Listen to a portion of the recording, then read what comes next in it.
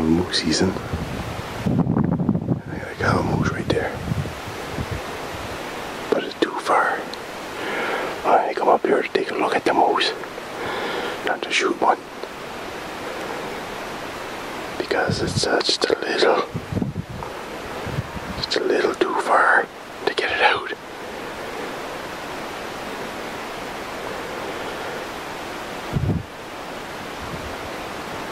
Buddy can get his bike up here, but I can't get my side by side up here.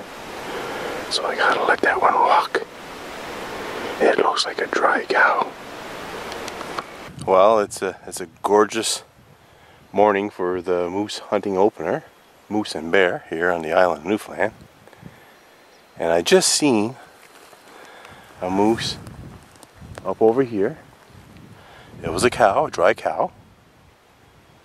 And she was 150 yards away. I ranged her with my uh, Sims uh, rangefinder. But I'm not shooting any anything up that way because it's too hard to get out. I just wanted to come. up. I knew I'd see a moose. See, I, I knew I would see a moose if I came up here. I just wanted to come up here and, and see a moose, you know. But I'd shoot one down on a bog right down here. If she was on that little bog right down in here, I would have shot her. Because that's how I go to get out.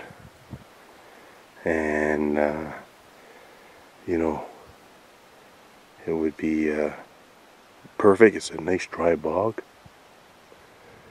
Perfect spot to get a moose. And I could get the bike almost to it and my game my game carrying cart would help me get it the rest of the way. But uh, always always moose up here, you know. So I just wanted to come up here and and see a moose, and that's what I did. And got it on film. I, I hope I hit the record button for you for you guys. A lot of times I don't. I always see moose down here too. This valley in here is has a really good spot for moose, but it's a sheer rock wall kind of on both sides so unless you're planning on to go down there take your whole family down there and camp on the moose for two or three weeks to eat the whole thing there. It don't make sense to shoot a moose down there does it? But uh, we got a good chance of rain and boy I tell you it's getting real dark. So I'm gonna make my way back now this morning. I came here, I seen what I wanted to see, and I got a little bit more scouting or, or uh, out to do. So, anyway, uh, I'll be heading that way. Well, I was uh, coming out this morning to set up these two trail cameras. I set up a couple last night, but I'm not going to set them up somebody's been coming up into uh, into this little area uh, where I've been seeing moose. In fact, I had two bulls calling back to me this morning. But somebody's been coming up here on bike, so where one bike goes, another one will follow. So I can't take the chance on losing any gear. So I'm going to take these trail cams back home with me. I'm not sure if you can see the uh, bike tracks there or not.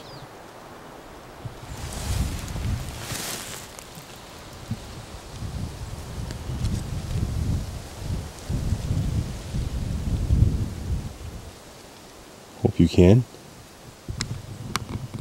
Anyway, it it was a an exciting morning. I slept in. Thought I had my alarm set and I didn't. Never woke up until just after 7. So by the time I had breakfast and got in here, uh, you know, the best part of the morning hunt for me, I find, is was already over. I like being in the area, letting the daylight come in on you, you know.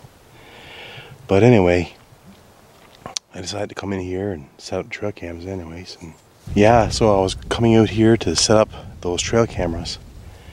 But somebody's been coming in here on their bike. So for me, uh, that's a huge, uh, a huge no-no. Uh, there's no way I'm putting out any of my trail cameras where other people are coming and kind of where one bike goes, another one will follow. Might have already said that, but uh, this is a good area. I'm after seeing a few moose in here already. Uh, I think this is my third morning hunt, and uh, every morning I see moose except for today. But I had today, I had two bulls calling back to me, so that's a good sign. Uh, it's probably it's a, it's the second Saturday of moose season, so I don't know if it's the uh, the 18th or 19th. I'm not really sure. I don't even have my phone or anything on me to tell me what what the day is. But um, I know it's Saturday, and I know uh, the bulls are starting to call back to the calls. So that's a really good sign. I just got the bull uh, grunting back at me, two of them actually, and uh, then the wind picked up. I don't know if you can hear it howling in the back. And I like to show you some more trees and stuff, but anyway, uh, they went quiet after the wind really picked up. So uh, I'll show you now. Uh, I'm doing a moose hunt on the cheap today. Show you my gear. So uh, these are shooting sticks. My shooting sticks are uh, I got them at the dollar store. I you get them in the gardening section at the dollar store.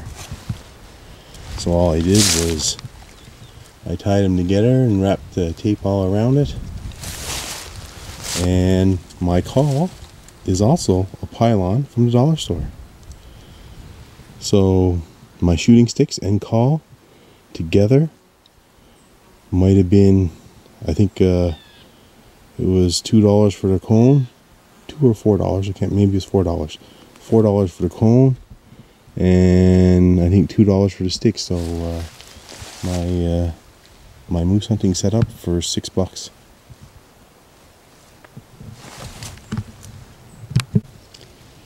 And the faithful 0303 British Sport. It's a sport model, and uh, I got a scope on it now because, well, since I turned, I can't remember if it's 45 or 47, I started to need glasses, so it sure does help.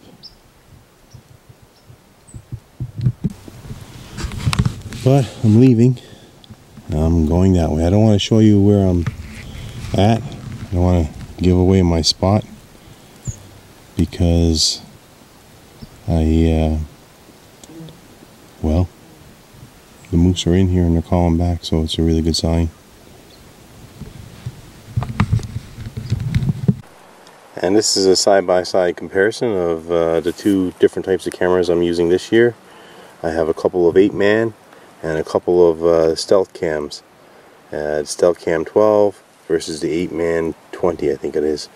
And uh, regardless of the amount of megapixels, the Apeman um, I don't know if you can see, it kind of have a parabolic shape sensor where the stealth has the flat sensor and I find the animal's got to be right in front of the stealth in order to trigger it whereas the Apeman you'll see in my video uh, that I got coming out with the cameras.